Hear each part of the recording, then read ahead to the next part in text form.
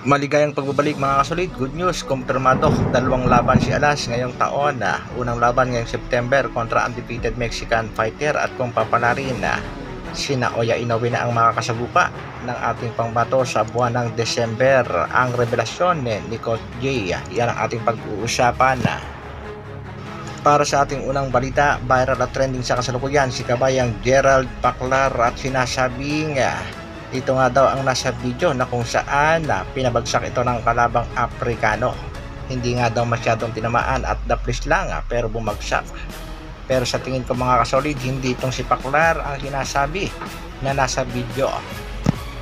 Dahil kitang kita naman natin mga kasolid na ang nasa video na pinabagsak ng Aprikano. Ang Aprikano ay isang bokal o kalbo. Samantalang ang nakalaban naman ng ating kababayang si Paklar, kitang kita naman natin na may buhok. Blondie pa nga yan ah. Tila nagkamali lang ang unang nagpost na kung saan ay sinasabi nga si Paklar ang pinabagsak sa suntok na the police. Kaya for info and confirmation lang, hindi yan si Paklar. Sa kabilang balita naman, latest update sa laban ng ating pangbatong si Angas ng Pinas, Janel Casimiro. May revelasyon nga si Coach J. Yan nga ay si Coach Jason Casimiro na kung saan na sinabi nga nitong si Coach na isang undefeated Mexican boxer ang kalaban ng ating pangbato ngayong buwan ng September. At kung papalarin nga raw ang ating pangbato ay ito ng sina Oya Inoue ang makakasagupa sa buwan ng December.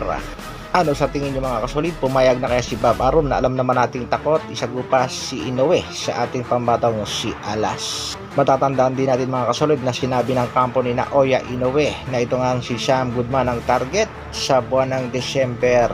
Pero sa latest update ni Kuya Lodge Jason Casimiro ay si na Oya Inoue na ang mga kalaban sa December. Yan nga ay kung papalarin sa isang undefeated Mexican boxer.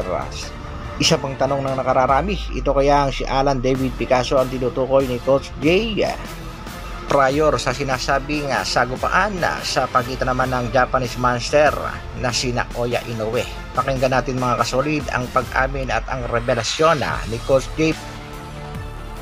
December pa. December pa si Inoue. Ramil, December pa. Pag, kung ngayong laban sa September, kung sinong manalo, siya, siya yung makalaban ni Inoue sa December.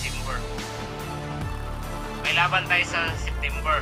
Kung sinong manalo sa September, yung kalaban ni Otto, si Otto, siya yung makalaban ni Inoue, Inoue sa December. At yung mga nagsasabi naman dyan na At patungkol sa mga kalaban ngayong buwan ng September, ito ang pahayag ni Coach Jason na yung kalaban, Mexicano, wala pang talo. Yan, di ba lagi kong sinasabi sa inyo? Mexicano, walang talo. Ayan mga kasolid, napakaliwanag naman ang pagkakasabi ni Coach J.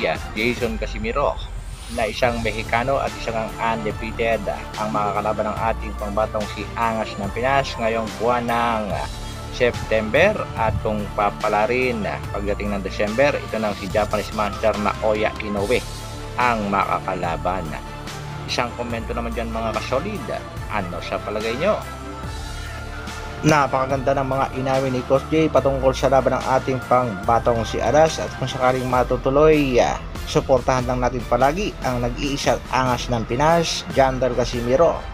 Ang boksingerong inaayawan, hindi lang natin alam kung hinatatakutan na. Hanggang dito na lang muna mga kasolid. Maraming salamat sa patuloy na pagsuporta at panonood. Isang like naman dyan. Mabuhay. Dr. Alvin Vlogs. Brrrr.